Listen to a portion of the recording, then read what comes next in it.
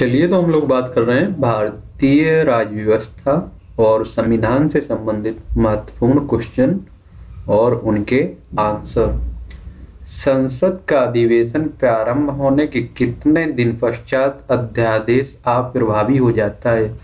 यदि इस बीच संसद एक प्रस्ताव द्वारा उस पर अपनी स्वीकृति ना दे तो छह सप्ताह है। अगला है, भारतीय संविधान का कौन सा अनुच्छेद? राज्य सरकारों को, ग्राम पंचायतों को संगठित करने का निर्देश देता है। अनुच्छेद 40 अगला भारतीयों को सत्ता के हस्तांतरण का उल्लेख। सर्वप्रथम कब किया गया? तो याद रखिए किप्स प्रस्ताव 1942 अगला है, ब्रिटिश संसद के लिए चुने जाने वाले प्रथम भारतीय थे दादा भाई नौरोजी। अगला है भारत की स्वतंत्रता के समय। भारतीय राष्ट्रीय कांग्रेस के अध्यक्ष कौन थे? J B Kripalani. अगला यह कथन किसका है कि भारत का संविधान संघीय कम है और एकात्मक अधिक है? तो ये थे केसी हियर। अगला एशियाई विकास बैंक का मुख्यालय किस देश में फिलिस्तीन फिलीपींस में, मनीला शहर में। अगला वियर ब्रॉन्ड स्कीम। का उद्देश्य क्या है? काले धन की निकासी। अगला है, ब्याज दर किस नीति से संबंधित है? मौद्रिक नीति से। अगला है, राष्ट्रीय विकास परिषद का गठन कब किया गया था? उन्नीस सौ बावन में। अगला है, शेयर बाज़ार में अल्फ़ा फैक्टर का क्या अर्थ है? वह अवधारणा जो किसी शेयर को अंतर्निष्ठ अस्थिरता का मापन करती है। अगला है, सदस्य संख्या के आधार पर भारत की सबसे बड़ी ट्रेड यूनियन है इंडक अगला इक्कीस अधिनियम के द्वारा भारत में वर्ग, जाति, धर्म आदि के आधार पर पृथक निर्वाचन क्षेत्र बनाने का प्रावधान किया गया। भारत सरकार अधिनियम 1909 मार्ले मिंटो सुधार। अगला है, अंतरराज्यीय परिषद के संबंध में उपबंध संविधान के किस अनुच्छेद में वर्णित है। अनुच्छेद दो अगला सरकार उपक्रम समिति में कुल 22 सदस्य होते हैं। लोकसभा एवं राज्यसभा से कितने सदस्य होते हैं? लोकसभा से 15 राज्यसभा से सात। अगला है, राजस्थान उच्च न्यायालय एवं इलाहाबाद उच्च न्यायालय की स्थापना किस वर्ष हुई? तो राजस्थान की उन्नीस सौ उनचास में और इलाहाबाद की अठारह सौ छियासठ में। अगला है, किस संविधान संशोधन के द्वारा राष्ट्रपति, प्रधानमंत्री एवं लोकसभा के निर्वाचन संबंधी विवाद न्यायालय के क्षेत्राधिकार से बाहर किया गया। उनतालीसवा संविधान संशोधन 1975 अगला भारतीय संविधान के किस अनुच्छेद में प्रेस की स्वतंत्रता से संबंधित वाद वर्णित है? तो अनुच्छेद 19 अगला है, राष्ट्रपति किस सूची के विषय पर अध्यादेश जारी नहीं कर सकता है। याद रखिए तो यह राज्य सूची के विषय पर। अगला है सर्वप्रथम किस सर्वप्रथम किस राज्य में लोक अदालत आयोजित की गई थी? गुजरात में। अगला है बयालीसवें संविधान संशोधन, संविधान के किस अनुच्छेद में मौलिक कर्तव्यों को जोड़ा गया? अनुच्छेद इक्यावन ए में। अगला है संविधान के संरक्षक के रूप में सर्वोच्च न्यायालय का अधिकार विश्व के किस संविधान से लिया गया? संयुक्त राज्य अमेरिका के संविधान से। अगला है, भारत की संप्रभुता किसने निहित है? भारत की जनता में। अगला है, विश्व के एकमात्र हिंदू राष्ट्र का नाम बताइए तो ये नेपाल। अगला है, भारत का प्रथम विधि अधिकारी कौन होता है? भारत का महान्यायवादी। अगला है, भारत को संपूर्ण प्रभुत्व, संपन्न लोकतांत्रिक, लोकतंत्रात्मक गणराज्य कब घोषित किया गया? 26 जनवरी 1950 को। अगला है, मूल अधिकारों को सर्वप्रथम किस देश में संवैधानिक मान्यता प्रदान की गई? संयुक्त राज्य अमेरिका में। अगला है, अखिल भारतीय सेवाओं का सृजन कौन कर सकता है? तो राज्यसभा दो बटे तीन बहुमत से। अगला है, दो तिहाई बहुमत से, याद रखिए तो राज्यसभा कर सकती है।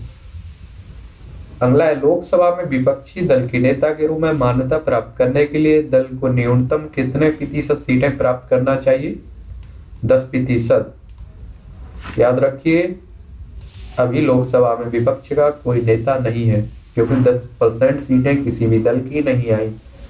पिछली लोकसभा में भी कोई भी विपक्ष में विपक्षी दल का नेता नहीं था।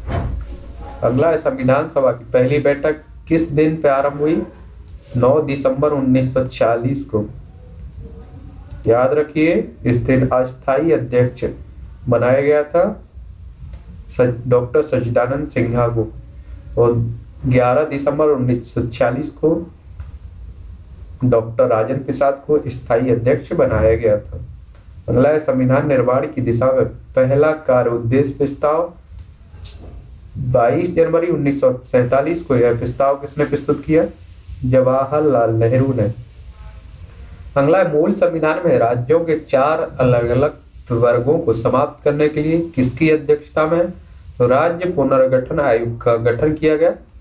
फजल अली की अध्यक्षता में। अगला संपत्ति का अधिकार किस प्रकार का अधिकार है? वैधानिक अधिकार, याद रखिए। इसे 1978 में चवालीसवें संविधान संशोधन द्वारा मूल अधिकारों से हटा दिया गया था। ठीक अगला किस वर्ष संसद ने अस्पष्टता अधिनियम को संशोधित कर सिविल अधिकार संरक्षण अधिनियम के मान से पारित किया उन्नीस सौ छिहत्तर में? अगला किस संविधान संशोधन अधिनियम ने राज्य के नीति निर्देशक तत्वों को मौलिक अधिकारों की अपेक्षा अधिक प्रभावशाली बनाया?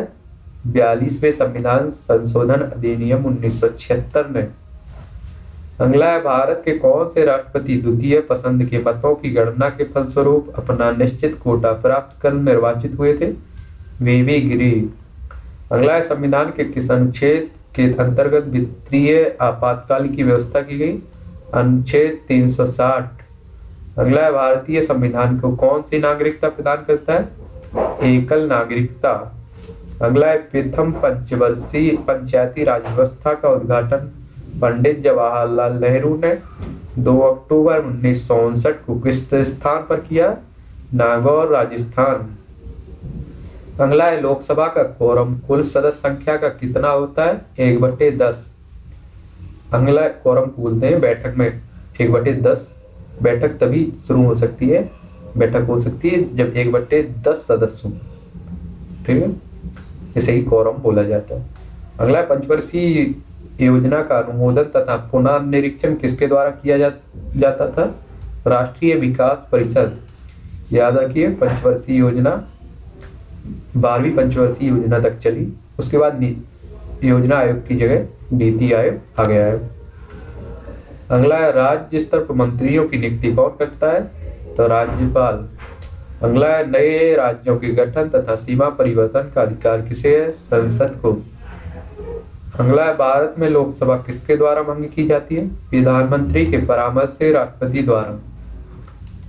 अगला है भारतीय संविधान में संघ की कार्यपालिका शक्ति किसमें नहीं थे राष्ट्रपति में। अगला है राज्यसभा का सर्वप्रथम गठन कब हुआ? तीन अप्रैल उन्नीस सौ बावन में। अगला है संसद का कोई सदस्य अपने अध्यक्ष की पूर्व अनुमति के बिना कितने दिनों तक सदन में अनुपस्थित रहे तो उसका स्थान रिक्त घोषित कर दिया जाता है। साठ दिन तक। अगला है, लोकसभा अध्यक्ष को कौन चुनता है? लोकसभा के सदस्य, लोकसभा के सदस्य। अगला है, क्या संघ शासित क्षेत्र भी राज्यसभा में अपना प्रतिनिधित्व भेजते? हाँ भेजते हैं। अगला है, केंद्र सरकार का संविधानिक विधान कौन होता है? राष्ट्रपति। अगला है राष्ट्रपति पद के चुनाव संबंधी विवाद को किसे निर्देशित किया जाता है? सर्वोच्च न्यायालय को। अगला है देशी नरेशों के और विशेष अधिकारों को किस संविधान संशोधन अधिनियम द्वारा संपन्न किया गया? छब्बीसवे संविधान संशोधन अधिनियम द्वारा। अगला है संविधान सभा का गठन किसकी सिफारिश पर किया गया था? कैबिनेट मिशन योजना की सिफारिश पर। अगला है, संविधान का कौन सा अनुच्छेद सामाजिक समानता का अधिकार प्रदान करता है? अनुच्छेद पंद्रह अगला है हमारा, संविधानिक संशोधन के लिए विधेयक को संसद के किस सदन में पेश किया जाता है? किसी भी सदन में। अगला है, राष्ट्रपति पद पर सबसे कम अवधि के लिए पदारूढ़ रहने वाले व्यक्ति कौन थे? डॉक्टर जाकिर हुसैन।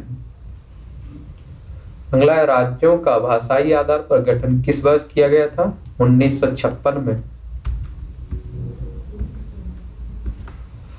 अगला भारतीय संविधान में किस अनुच्छेद को संविधान की आत्मा ना, के नाम से जाना जाता है? अनुच्छेद बत्तीस।